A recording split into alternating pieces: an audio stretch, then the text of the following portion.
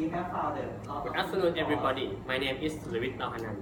Today, I will give you a talk about review optimization of asset management based on equipment monitoring and our system operation. So, let's begin with the introduction. What is asset management mean? Asset management is a process of guiding data of assets to make the most benefit, such as economic or entry assets life. So, to, it clearly, we have an example of asset performance, asset performance management from one organization. They want to balance between the risk, cost, and performance of assets that based on the optimization and on benefit, risk cost, optimal timing of work, or maintenance strategy, and the last is financial constraint for the organization. So, let's begin what is the asset substation they have. In substation, they have a variety of assets such as transformer, circuit breaker, current transformer, and potential transformer. So, this graph is explaining you about the number. The y-axis is the number of equipment that are installing in the transmission system, and the x-axis is the age or year. So, why the age is important? We are considered about the age that more than 25 years. For the transformer is around 25%, circuit breaker and current transformer is 15%, and the last is potential transformer is around 23%. So why the age is important? Because the age has the relation to the reliability of the equipment. As you can see from the initial point, the assets or the equipment when you don't use, the are 100%, and when the time passing, the reliability of equipment is decreasing by the time, time from reliable zone to degenerate zone and critical zone. So, what the organization must do to keep the reliability that in the green zone, they must do the maintenance such as preventive maintenance or corrective maintenance. Preventive maintenance that means the the activity that do in to that in period to protect the failure will occur, and corrective maintenance is the repair that the failure will happen. So, when in order to this, the costs are uh, increasing from the maintenance cost when the time has passing. So let's see the relationship between the cycle cost of assets.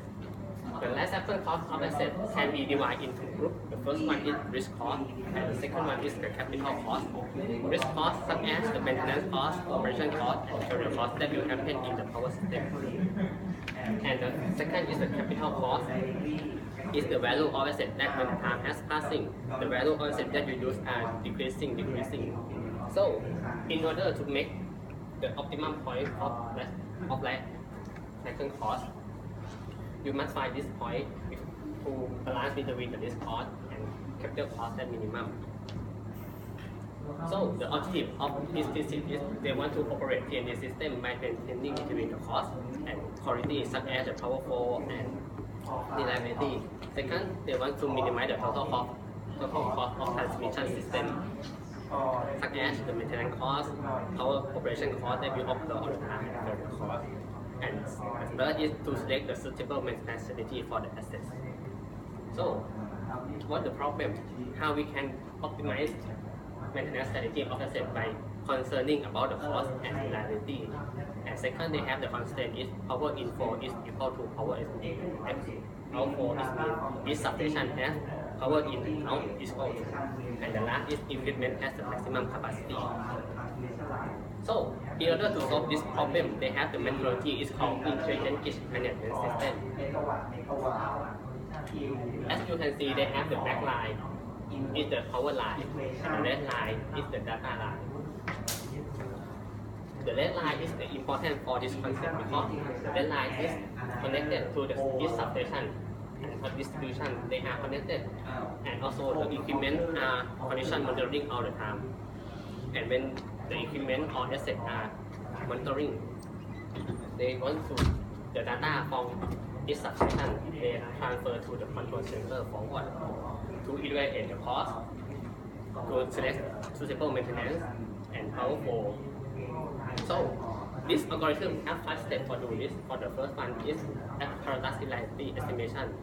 They use the Weibull distribution condition data that you get from the grid to find the failure rate of equipment. Failure is mean the failure that the or deterioration rate of equipment that you destroyed by the time to time. and then select the maintenance strategy such as regular is mean don't, don't do anything just check and inspection overhaul is mean to change some part of the asset and the last is the replacement. It means you change the whole asset. So this three strategy has the impact to the failure rate and then from this one and two they'll go to the second third step is system and subfinity estimation. For the failure that we get they use the Monte Carlo simulation to simulate the failure pattern that will happen to each asset. And then evaluate the cost from the failure pattern by time to time. We have each time we convert all the all the occurrence to the cost and find the minimum cost by using the nonlinear programming. And then comprehensive evaluation, comprehensive evaluation by optimum T&D cost and maintenance strategy. If it's not the minimum, so you have to do it again to select the best maintenance strategy. So to test this methodology, they use the system model is called predicted test system. Like this, the right picture. There are simulations for two cases. For the first one is new installation equipment. It means the age of equipment of our system start from zero year. It means the new new buy the new asset. And second is the inhomogeneous equipment. The asset has the various age that are operating, and they they want to focus only circuit breaker about four, five, six. So the result from the first case, new installation equipment, they want to compare with the IGMS with the time-based maintenance. As you can see, the cost is to compare each circuit breaker, the cost is reducing for the circuit breaker 4 is around 30%, 5 is 20%, 6 is 15%. The cost is reduced, and also the number of maintenance activity are reduced for overhaul and replacement. So it means that the asset can extend the time, extend for the period of maintenance because the condition of equipment are different. By the same way, in the in homogeneous condition, the age of the circuit is not equal from zero, and the costs are decreasing for circuit breaker 4 is around 25 percent. Five, Circuit breaker 5 is 23 percent, and circuit breaker 6 around 20 percent. So, and also it can delay time just like the I mentioned in the new age equipment. So, in conclusion, I have reviewed the IGS. It estimates all event in TNA system as cost for many factors, and also they can find the minimum cost and ladder impact of individual liability of equipment by equipment maintenance. And the last is reduce the cost from time-based and that the organization that I usually want to do.